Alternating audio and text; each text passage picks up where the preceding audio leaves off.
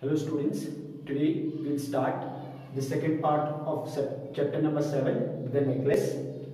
In the previous part, we have already studied that uh, Mr. Loisel, he brings an invitation card from his office. It was an invitation for a dinner party by the minister and he was very happy when he brought it home. He thought that uh, when Matilda will know about all this, she will be very happy. But uh, as soon as he gave that invitation card to her, what did she do was she threw it on the table and uh, she was angry just because she was not having any good dress to wear.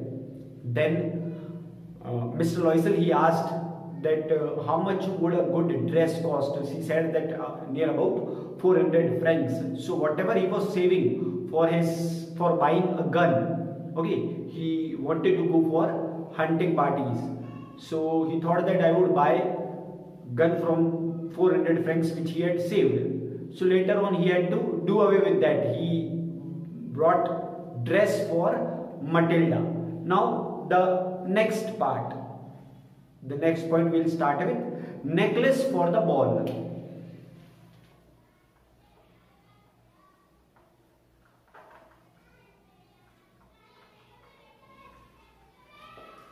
Means party, okay? So the day of the ball came near. Her dress was ready, but she was pained to have such a poverty-stricken look. Okay, she was vexed not to have jewels. Mr. Loisel, he suggested that uh, she could wear any natural flowers. She replied, no. Okay, why would I wear natural flowers? It was humiliating now for uh, Matilda. Okay, what? That to give a shabby image of her in midst of rich ladies. That is why she wanted some jewels. Then an idea came to Mr. Loisel. Okay, he asked her to borrow jewels from her friend Madame Forrester. Okay. Now, Madame Forrester heard her story. Whose story? Matilda's story. She was also happy when Matilda got to know about all this that uh, her husband is thinking of all this. So she went there and she said all her stories to uh, Madame Lois, uh, this Forrester.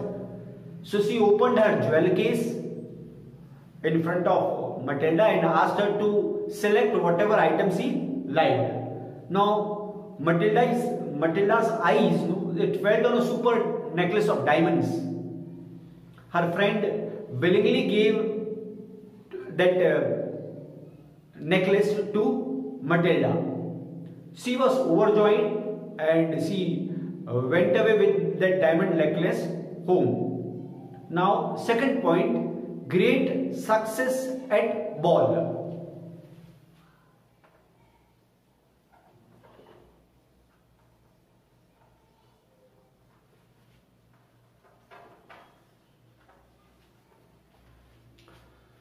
Now Matilda was a great success at the ball. She looked very pretty, elegant and graceful. All the men there in that party, they noticed her and wanted to get introduced to her. Even the minister, even she got the attention of the minister. Okay, so she was filled with joy and she uh, danced with great pleasure. The next point is necklace lost.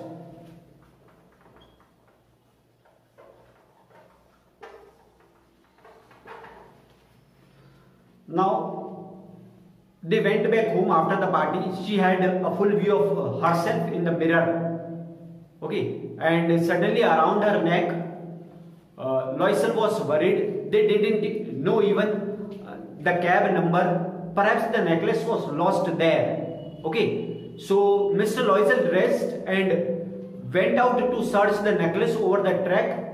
He went to the police, to the cab office and advertised in the newspaper offering a reward. At the end of the week, uh, they lost all hope. In a shop, they found that a similar diamond necklace was valued at a 40,000 francs. Next point, miserable struggle to save pay of money.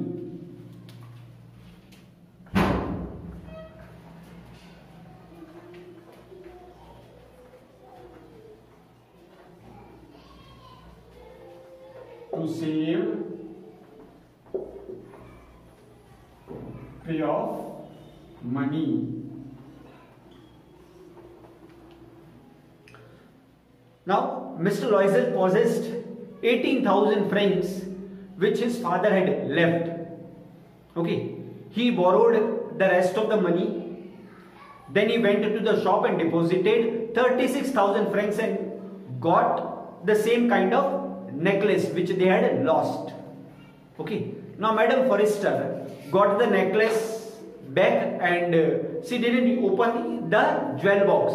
Then started the horrible life of necessity for Mr. and Mrs. Loisel. Okay, both of them, they suffered a lot. She did not, what she did, Matilda, she washed the dishes and the linen and she did all the household works. They even sent away their maid, okay, maid servant who was working there in their house. Now, uh, they rented some rooms in the attic.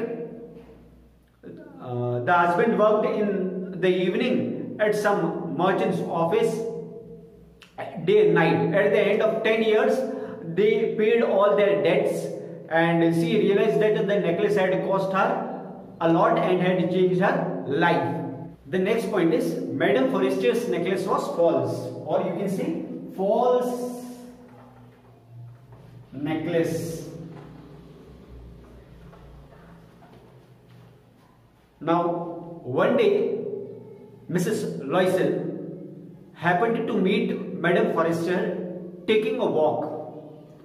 Madame Forrester didn't recognize her friend. She had changed very badly. Who? Matilda.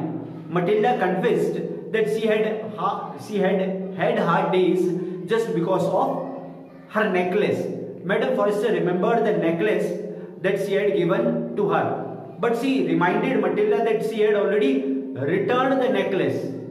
Then Mrs. Loisel told the whole story. She also told how they suffered to replace her lost necklace.